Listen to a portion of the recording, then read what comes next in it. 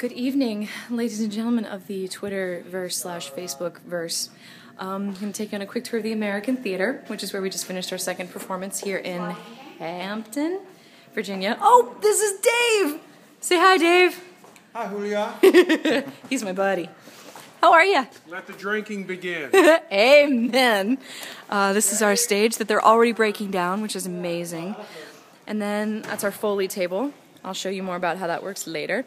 And here is our beautiful theater. Isn't that pretty?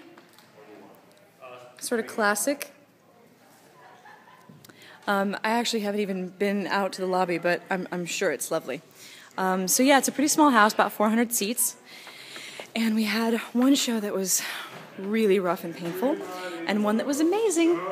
And this is Chloe again. You're in all my videos, girl. Stale Nilla wafers like a champ. Plays my sister and my best friend, and apparently shares my taste in stale vanilla crackers. Amen. Amen. See you soon. so that's the American, and yeah, first show, second show, kind of awesome. So anyway, oh, and this is my my favorite uh, embroidery of the day: eat, drink, and be quiet. Amen to green rooms. I'll catch you guys later. Bye.